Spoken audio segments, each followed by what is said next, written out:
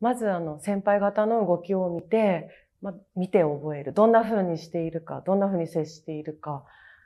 の流れを覚えて、でもわからないことは聞きに、まず聞くっていうのがやっぱり大事だと思うので、で一人一人その利用者様の、あの、動きとかが違うので、そこももうとにかく利用者様と話して特徴とかを捉えて覚えていきました。笑顔を見たら元気になれるって言っていただいて。で、あなたが休みだったら静かだったわって、まあちょっと、まあちょっといい意味で私は捉えてるんですけれども。寂しかったわとか言ってもらえて。でもなんかその時は、あ、追ってよかったなと思って。今まだ頼りっぱなしなんで、その利用者様にも先輩たちにも、やっ